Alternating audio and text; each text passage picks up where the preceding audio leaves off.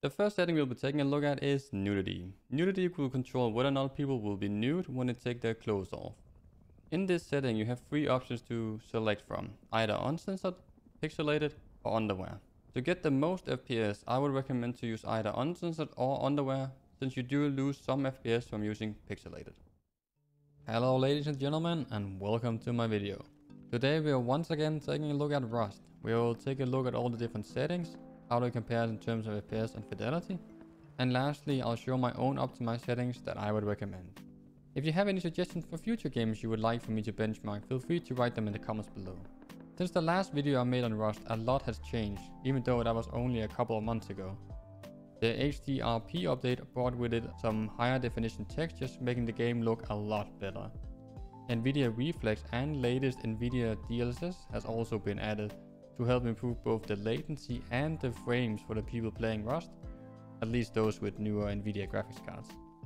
All of which I'm very excited to try out and see how this will impact the game. In this video I have also listened to what you guys commented on the last video and used that together with my improved knowledge that I've gained since I made the last video to make this video both better in both in terms of the edit but also in terms of the benchmarking of the different settings. Before we move on to the next setting, I wanted to showcase the two extremes of all low and all ultra to see both the performance and quality difference between the two. There's a few points to take from this. First of all, all ultra uses over 90% more VRAM than all low. And secondly, the RAM usage in this game is the same across all the settings, no matter if you use all ultra or all low. As you can see in this video, we have 44% difference between all low and all ultra, so we have a lot of performance headroom we can work with. So let's get started. Show blood determines whether or not blood will be shown in the game when people are damaged. As you can see in my example, on the left no blood splatter is appearing and on the right we do get some blood while we are hitting the body. Since this has no impact on your performance whatsoever, this is more of a personal preference whether you want to use it or not. Now let's take a look at max gibs. Max gibs determines how many broken objects will appear when you're destroying different buildings inside the game. As you can see, once we have it set to zero, we don't get any broken pieces basically, maybe one or two. And as we move up, the more pieces we're gonna get and the more broken debris we're gonna get on screen when we're destroying different buildings. This has a massive impact on your frame rate and especially on the frame drops you'll experience, which is what I have showcased here in terms of FPS. Unlike the other settings in this game where I have tested based off average FPS, this time I have tested based off the 0.1 FPS, so the FPS drop you will experience because that's a more precise way of showcasing that. As you can see, there's a big difference in how low FPS gets between having it set to 0 and all the way up to 2000. For some reason the lowest number was actually at 1500 which I experienced over multiple tests and I'm still not sure why that was. That was a bit weird, but no matter the less, it's still a lot of FPS you're gonna lose from having this setting turned up. For anyone playing on a PvP server, I would recommend to leave this at zero because the scenario where you're gonna experience these FPS drops are gonna be in raids or when you're fighting other people. And that's especially the cases where you do not want to have FPS drops. Also, another thing is that people can actually hide inside the debris before it disappears, which can give you a disadvantage. Therefore, I recommend to set this at zero. Now let's take a look at graphics quality. Graphics quality determines the quality of the different objects inside the game. So as you can see, there's a big difference between having this set to zero and having it set to six. Between those two settings, we lose around 17 to 18% performance. Another thing to note here is that after we have set it to 4, there doesn't seem to be any reason to set it any higher to 5 or 6 because you don't really gain that much extra quality. You actually have to really look for it to actually find the extra quality you're going to gain. And that's the same thing we're also going to notice in terms of VRAM usage. Where you can see once we have it set to 5 or 6, we use around 50 to 60% extra VRAM. However, when we have it set to 4, we only lose around 15 to 16% extra VRAM. Therefore, I highly recommend to use 4 if you can, or just set this setting based off the amount of VRAM you have. So if you do not have that much VRAM, then of course this is a setting you have to set at a lower option. Now let's take a look at the new setting that has just been added to Rust, DLSS. DLSS is a setting developed by NVIDIA and therefore you will also need to have an NVIDIA graphics card to be able to take advantage of it. Furthermore, you also need to have that graphics card be either a 20 series or a 30 series graphics card to be able to take advantage of it. So if you do not meet those criteria, you can just skip this section. I have tested this both in 4K, 1440p and 1080p. 4K, which is also my best case scenario, is where my graphics card is actually fully utilized. And Nvidia's DLSS works its best when your GPU is when you're GPU bound basically. When your GPU is already maxed out. And that's the case when I'm playing in 4K in Rust. And as you can see, again, an almost 80% performance between having this turned off and having it all, all the way up to ultra performance. That is incredible. I go from 80 FPS to 143 in 4K. That's really good. However, like I said, this is in the best case scenario. If we take a look at 1440p, I don't gain anything at all, which is because I'm CPU bound which will happen a lot in Rust because I tested this out in the open where there wasn't really any player-made buildings. But if you go into places where there are a lot of player-made buildings, which will actually be a lot of places on different servers, this won't have the same effect because if you, at least not if you're CPU bound, which you are going to be in those places. So once you're out in the open and running around, this is going to have a massive impact on your performance. But if you are either like me, more CPU bound in general, or if you're just running near a lot of buildings, you're more than likely going to be CPU bound and not see the same performance improvements. That shouldn't, however, take away from the massive performance you can gain in this game, which is really good because it is a really poorly optimized game in a lot of ways. It have gotten a lot better with this uh, latest HDRP update and now DLSS, but it still has some CPU optimization needs to be done.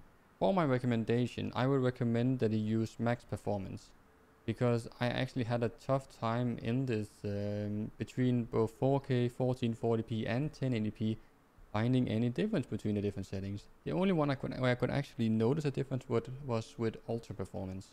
And that's because at ultra performance it starts to get a little bit blurry in the different textures of both the trees and the grass and you can actually see the difference. However, with max performance, I actually didn't notice that. I couldn't see any difference between that and having TSSAA on instead. Therefore, I would highly recommend to use max performance no matter what resolution you're playing in. The next setting we'll be taking a look at is shadow quality. Shadow quality determines the quality of different shadows inside the game. As you turn this setting up, the shadows will become softer and generally more better looking. I would recommend that you set this to 1 because at 1 you only lose around 1 to maybe 2% performance and the shadows look a lot nicer and a lot softer. After you have set it to 1 you don't really notice any difference between 1, 2 and 3 so there's no reason to set it any higher. Shadow cascades determines the distance at which shadows will load in. As you can see there's a massive difference between no cascades and 2 cascades. Between 2 and 4 there is also a difference but it's not as big as with between no cascades and two cascades. My recommendation for this setting was, would be to at least use two cascades, but probably more to use four cascades because shadows can make a big difference in the way the game is perceived and it will make the game look a lot nicer and more realistic to the eyes. Next up we have max shadow lights. Max shadow lights determines the amount of shadows that will appear from player made light. So that player made light could be from your torch or from your fireplace. When we have this set to zero, we basically turn those shadows off and then we increase them in quality as we go higher. For this setting, I would recommend to leave this at zero and basically have it turned off. These shadows can be kind of buggy sometimes and also just kind of annoying. Plus it might give you an advantage in certain scenarios where you will be able to spot the enemy a lot easier because you don't have those shadows in the way. Now let's take a look at water quality. Water quality determines how many waves and how much alive the water will feel like. As you can see in my example, we get a lot more waves when you set this up to 1 or 2. For my recommendation, I would recommend to just set this to 0 because you do lose around 4% performance from having this set to either 1 or 2. And even though it is a nice to have, it's not that often that you actually just stand and look out over the water, so you probably won't even notice the difference while you're playing the game. Next up we have water reflections. Water reflections controls the amount of reflections on the different water surfaces in the game. As you can see here on this uh, river, there's a big, or not maybe not a big, but there is a difference between having this set to 0 and all the way up to 2. You can see that it does reflect some of the landscape, mountain and trees on the other side in the water. However, that reflection is not that detailed even when you put it all the way up to 2, so it doesn't really make that much of a difference. Another thing to note is that you lose around 10% of your performance between having this set to the lowest and the highest possible option. Based off that and based off the fact that it's not something you really would notice, I would recommend to set this to 0 because you lose a lot of FPS and it's such a small difference in terms of quality of the game. Continuing with reflections, we're now going to take a look at world reflections. World reflections is supposed to, as far as I know, control the rest of the reflections inside the game. So that could be different reflection of reflective surfaces such as the glass or shiny metal or something similar like that. However, in my extensive testing, I have not been able to find a single place where I have made any difference in terms of either quality or in terms of FPS. On the last video I made on Rust, someone commented that it does make a difference when you have a light source near a door.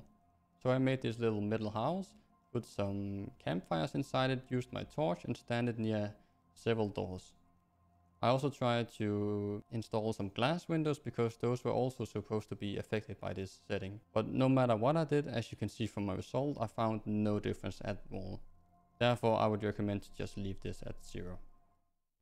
The next setting we will be taking a look at is shader level. Shader level affects the detail of the terrain in the game. More specifically, it affects for how far away different details around the terrain will load in. As you can see here in my example, when we have it set to 100, some of the cars out in the distance actually turn white because their textures are not loaded in like they are on all the other options. Besides that, we actually have to go all the way up to 600 before we actually notice a difference between the different settings. At least in terms of quality, where when we turn it up to 600, we're suddenly gonna load in a lot more grass out in the distance on the fields. How this setting affects the actual quality of game will depend on where you are testing it. So in this place where I'm testing right now, I only saw a difference when I go, went all the way up to 600. But in my last video where I tested Rust and tested this setting, I actually saw a difference between 100, 300, 400 and 500. Therefore, I would recommend to leave this at 600. I know that it is around 11 and 12% performance loss you're gonna have to take, but it makes a huge difference in how the game will look because it will actually make it so that the terrain textures are loaded in at a fair distance because this is not even that far away and it's already stopped loading in the textures when you have it at lower than 600. Next we're going to take a look at draw distance. Draw distance determines how far away different objects in the game will load in. As you can see there's a clear difference between having this on 500 and 1000 where you can see the hill that I've marked with the red arrow disappears. After that the next difference we actually see is between 1000 and 1500 where we get out in the distance to the right we can sl slowly see a silhouette of another hill. Besides that, there's really no difference after 1500 all the way up to 2500 in terms of how far you can actually spot things. Therefore, I would recommend to just leave this at 1000. That's more than enough distance for you to be able to see uh, everybody around you, but you also don't lose that much FPS from having it set to 1000. Another thing is that on my last video, some people commented that it will actually make a large difference in terms of CPU usage. If you have a slower CPU, setting this up higher will actually hurt your performance even more. Now I'm lucky enough that I have a really great CPU, so I didn't really see that much of a difference, but it's definitely something worth considering. And also another another reason to set it to 1000. Next up we have shadow distance. Shadow distance determines how far away shadows will be loaded in in the game. Shadow distance and shadow cascade seems to be doing the same thing. They both seem to be determining how far away shadows will load in. If you look at the description for shadow cascades, that's only supposed to be affecting shadows that are made by either the sun or the moon. But since max shadow light covers all the shadows from the player made light, like from your torches and campfires, I'm not sure what's left for shadow distance, but it does make a difference as we can see. So it seems that shadow distance and shadow cascades both affect the same kind of shadows, So you should align these two settings based on what you choose. If we then go into the setting itself, you can see between 50 and 100 we gain some extra distance on our shadows where we can suddenly gain a shadow on the telephone pole to the left of the road. Between 100 and 400 we start getting shadows on that little hill out in the distance with the different trees on it. After 400 it's really difficult to spot any difference which is also shown showcased in the difference in FPS where we, we don't really see that much of a difference in FPS after we go up to 700 and 1000. Therefore, I would recommend to set this to 400. That seems to be a good distance both in terms of quality, but also in terms of FPS. Next up, let's take a look at anisotropic filtering. Anisotropic filtering makes textures look a lot sharper when viewed at a distance or at an angle. Like the last video I made on Rust, I still cannot find any difference between the different settings, at least in terms of quality of the way the game actually looks. In terms of performance, I find the same 10% performance difference as I found last time. Therefore, I highly recommend to set this to 1, because you're not gonna notice any difference in quality whatsoever, and you're gonna gain around 10% performance. The next setting we'll be taking a look at is parallax mapping. Parallax mapping adds some extra geometrical detail to the terrain in the game. This is most noticeable when you're looking at the different dirt roads in the game. As you can see, it becomes a bit more realistic and becomes a bit more uh, 3D compared to 2D, but it's still not the biggest change between 0 and all the way up to 2. When you then add the fact that it costs around 6% performance to take it all the way up to 2, I would recommend to just leave this at either 0 or maybe leave it at 1. Next up we have grass displacement. Grass displacement will control whether or not the grass will move while you're running through it. As you can see, this has a very small impact on your performance and therefore is more of a personal preference, whether you like the grass to move when you're running through it or not. It doesn't make the biggest difference, but you can definitely see a difference even when you are not even staring directly into the ground. Next up, we'll be taking a look at NVIDIA Reflex. To be able to utilize NVIDIA Reflex, you need to have an NVIDIA graphics card that is not older than the 900 series. So if you do have that or if you have an AMD graphics card, you might as well just skip this setting. For those of you who do have an NVIDIA graphics card that can actually utilize this, there are three different options you can choose from. Either off, on, or on plus boost. The difference between on and on plus boost is that on plus boost will boost your GPU's clock speed to its max. This does also mean that it will draw more power and therefore output more heat. So this is not recommended to be used in either a laptop or if you have a bad cooling system on your graphics card. Then I would just recommend to use on instead. What NVIDIA Reflex does is that it will lower the system latency. So that is the latency from you shooting on your screen to that information actually reaching the server that is hosting the server you're currently playing on. In a competitive environment, that's really good. That's something you want to because the lower the latency you have, the more likely it is that the server will actually select your shot as being the first one to hit the enemy. So you might actually be able to win more combat scenarios if you use it. That's a big if, but it does improve your chances at the least. Whether or not you should use it is a different story because even though it does actually improve that, and I don't, I'm not, I'm not gonna go more into it in this video and actually analyze how much more or how much less the latency will be then you are going to lose around 4 to 5% performance. Therefore, I would not recommend for you to use this unless you have a medium to high-end graphics card. Because otherwise, I don't think it's worth it to lose that extra performance. Especially in a game like Rust where you already are struggling to get enough performance. If you can use it, then you can try to switch between on and on plus boost, depending on how good your cooling system for your graphics card is. Now let's take a look at particle quality. Particle quality controls the quality of the different particles inside the game. So the best example of that will be the smoke particles. In my example here, I have a lot of bonfires lit to be able to showcase the difference both in quality but also in FPS. As you can see, there is a difference in quality, but it's not the biggest. When you set it to either 50 or 100, you can see that the smoke does actually get a bit denser and there is a lot more of it, but it still looks great even when it's set to zero. If you combine that with the fact that you lose around 6% performance from setting it either to 50 or 100, I recommend to just leave this at zero because you're not going to lose any noticeable quality. Now let's take a look at object quality. Object quality controls the quality of certain objects in the game. The only places where I have found that it actually makes a difference is inside the lighthouse, where you can see as we turn up the setting, we gain more assets and generally more textures on the walls. I've also tried testing this at gas station, train station and generally other buildings, but I haven't been able to find any other buildings where it actually makes a difference even though they are using the same assets as the poster that's currently on the wall, the Cobalt poster is also present at the train station. Since I can only find that this actually makes a difference inside the lighthouse, as far as I know at least, I would recommend to just leave this at 100. Between 100 and 200 there's really no quality difference, and there doesn't seem to be reason to turn it all the way down to zero, because if it's only inside the lighthouse you're gonna lose maybe 1 to 2% performance, I feel like it's definitely worth it for the quality difference it makes. Now let's take a look at tree quality. Tree quality determines how far away the different trees will load in with the textures. As you can see, the difference between 0 and 100 is rather large, where 100 actually doesn't go that far away before the trees will stop loading in properly. Between 100 and 200 you actually have to go really far out to see the difference, whereas actually the trees out in the, the last trees you can see out in the distance where it actually makes a difference.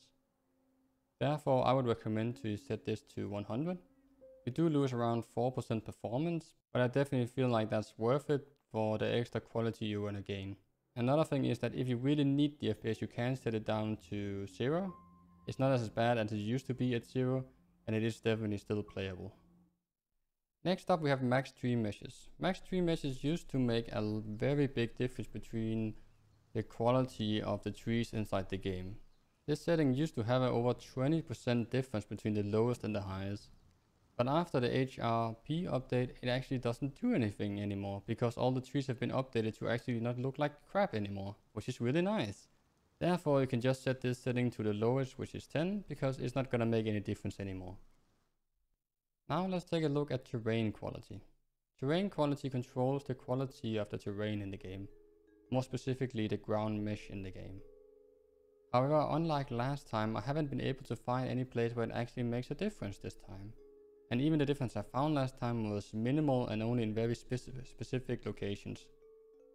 Therefore, since it doesn't seem to make any difference anymore and it might just be obsolete, I would recommend to just leave this at zero.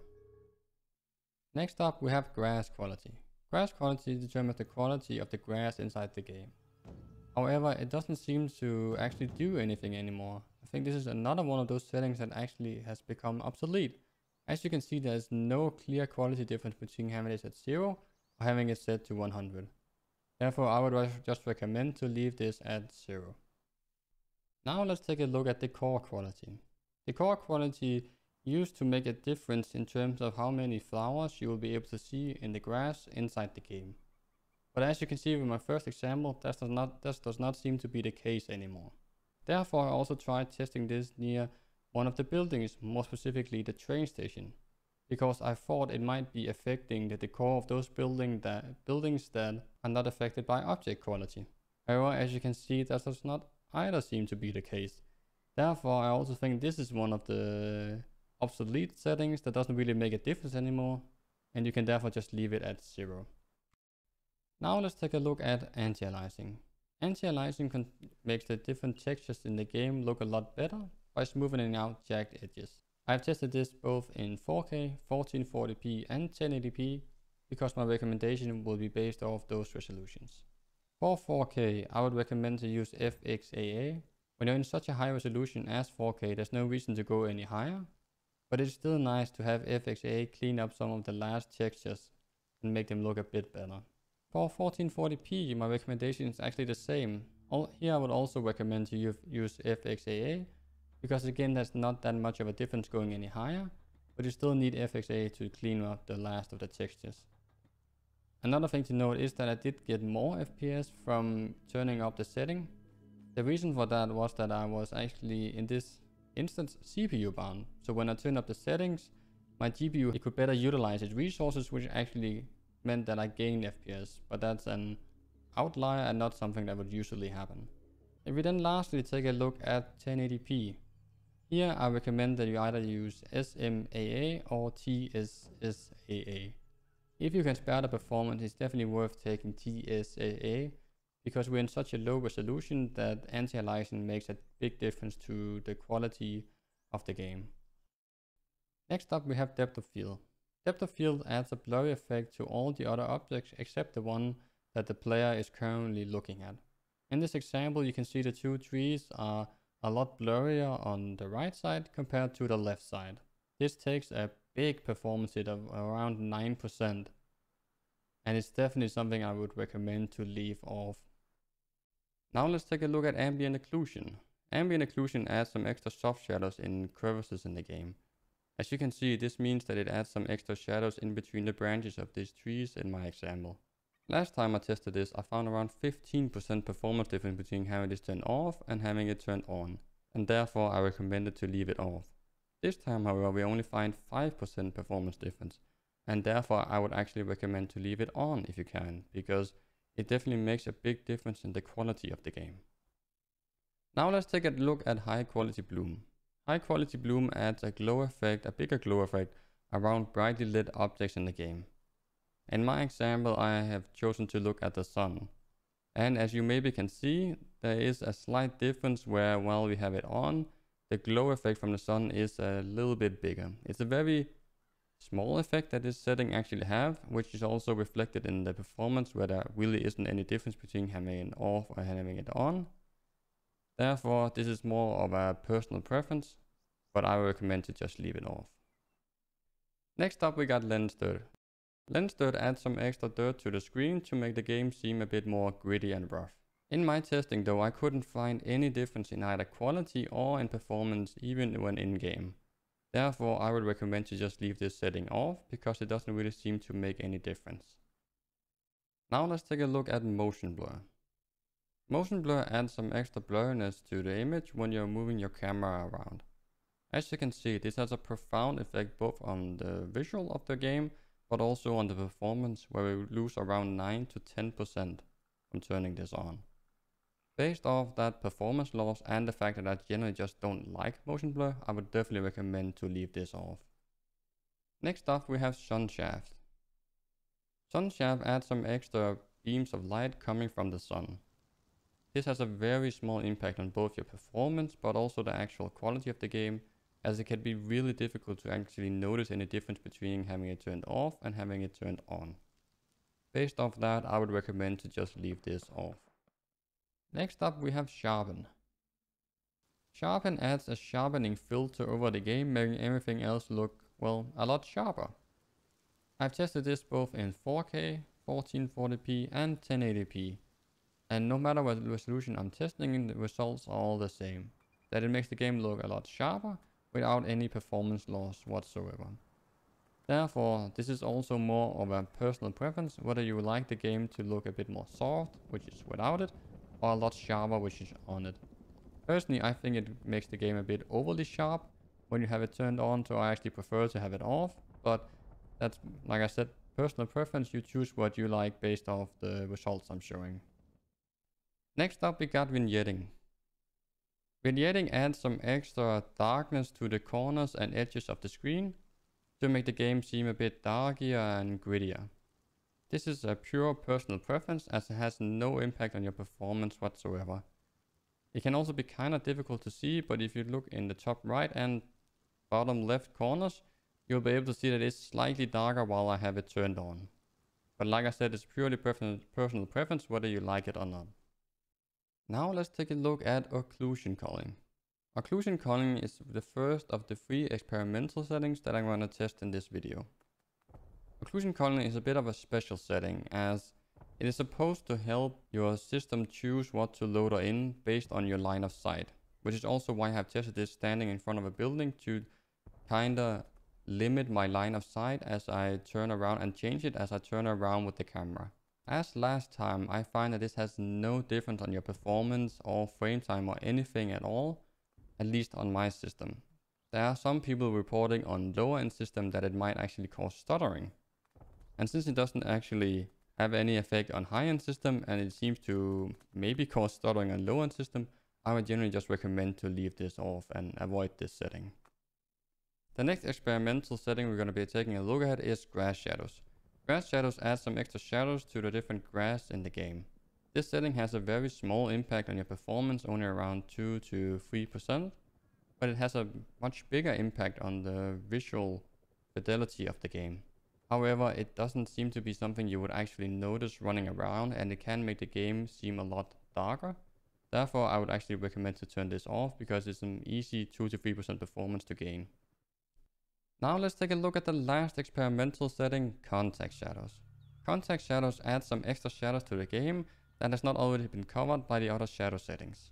This setting does, even though it does make a small difference, is not really something you're actually gonna notice while being in-game and running around. When you take that into consideration plus the fact that it takes around 10% of your performance, then I definitely recommend to leave this off because it's not worth it. Here are my recommended settings which are based off the recommendations I have made throughout the video.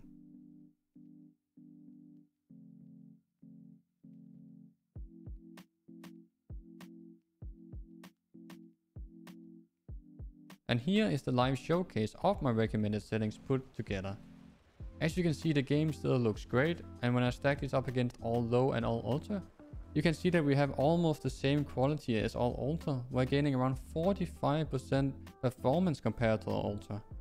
Furthermore, we even have the same FPS as all low, which is just insane when you just look at how much better the game looks at the recommended settings. But thank you all for watching. If you made it this far and been able to use this video to get better FPS in Rust, please like and subscribe for future videos where we'll take a look at other games. If you have any feedback on the videos or any other tips or tricks to get more FPS in Rust, please share them in the comments below. If you're interested in these kind of videos, maybe check out the video I made on Valheim or Ark Survival Evolved. Have a nice day. Bye bye.